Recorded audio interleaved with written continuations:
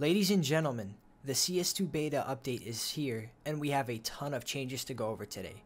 I'm going to be focusing today on things that you guys might have missed from the update, as things such as the new Inferno update has already been covered extensively, so I wanted to look into more specific things. Now remember, this is still the beta, so things are absolutely subject to change with future updates. We have a lot to get through, so let's just dive straight into the new Inferno. Visually, this map is one of the best that current CS2 has to offer and genuinely looks incredible. Tons of lighting, sound, and visual changes came to Inferno, and the map still feels familiar, yet the quality of the map is unlike anything we have seen before. Now with the map, I wanted to highlight actual gameplay changes, specifically being physical geometry changes. Starting off, we have changes to Graveyard on A side of Inferno. Now, there is no little hiding spot and a wall that covers you, so the staircase is just entirely open and you can see anybody that's trying to hide in that little graveyard area. The opening in pit is significantly lower, so sitting in it and peeking that angle makes you way more visible to someone pushing in on site than in previous Inferno. Top mid has some design changes, with a couple more indents in the walls to have more angles to peek from, and changes to how some of the angles sit in relation to one another. The little hiding spot in church now looks very different and is a lot more pronounced, making it less of a sneaky little spot to hide than previously.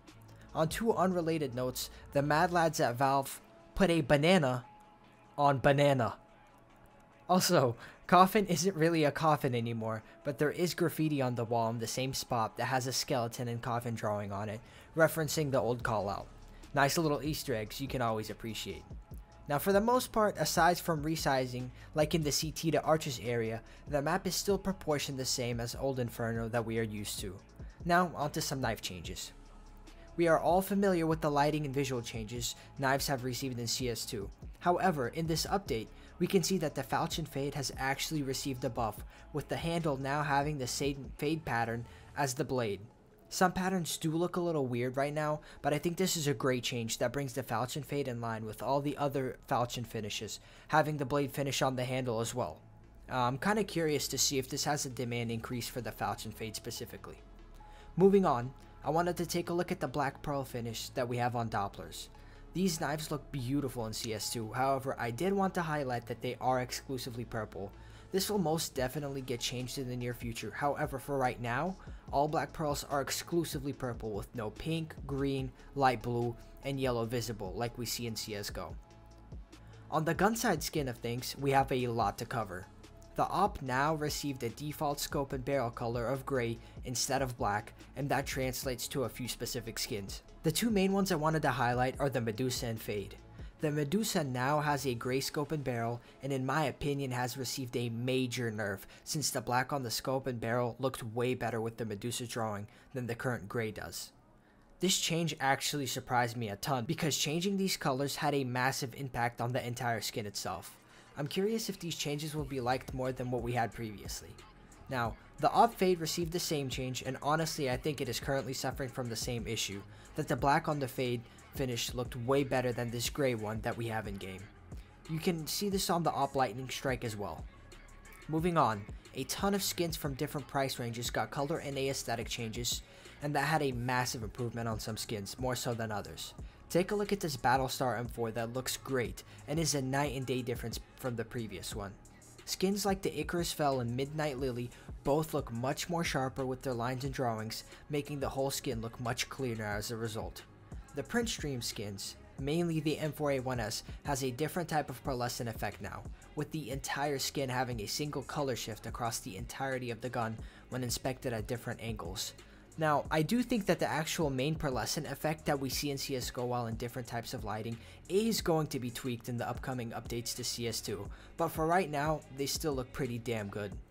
The case harden looks different now, mainly being the texture on the skin.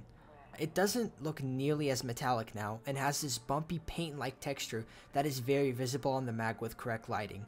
I'm torn on these changes. Comment down below if y'all like the new look of the case hardened AKs or not. Lastly, gun skins that had a engraved look now look incredible in CS2. Check out this AK cartel that looks way better than it ever did in CSGO. The textured and carved look also got upgraded, and skins such as the Negev Mjolnir now look way more 3D and filled in than previously. Tons of low to high tier skins got massive upgrades, and it's great to see these changes implemented on a massive variety of skins within CS2. On the glove side of things, we have some winners and losers. Most gloves got a great upgrade, now with much more of a fabric and glossy look that real life gloves have. However, in the sports gloves section, we have big changes. Mesh gloves such as slingshots now look super clean, and the actual white on red with these gloves looks very sharp. These gloves have had a massive price increase over the last 3 days due to this. Omega gloves also got this shiny rubber look to them and really pop when using in game. Now, the biggest loser of the glove section was Hedgemaze gloves. I am really hoping they fix these because they are a shell of what they used to be before. They have no blue shine like they had in CSGO, and the Hedgemaze pattern looks completely flat and basic. And on top of that, these seem to have a way worse wear look, because now they get gray wear on the knuckles at low floats, and the palms have these dark washed out spots we only saw with very high floats in CSGO. I'm sure this will get fixed though. Last thing I wanted to go over today was stickers, and the insane upgrade most of them received. Hollows, golds, glitters, and lenticulars all received a tremendous buff, and look super colorful and textured. Some hollows got completely reworked, such as the Dignitas hollow, which has had a massive price jump these last two days due to the huge upgrade. It now changes colors on the whole ghost, not just the eyes. Glitters pop way more now, and the glitter effect is much sharper. Gold stickers now have an actual gold look due to the 3D effect they now have at basically all angles. This 3D effect has had a massive change to stickers, and a lot of them went from looking like flat shiny pieces of paper to these intricate detailed 3D parts.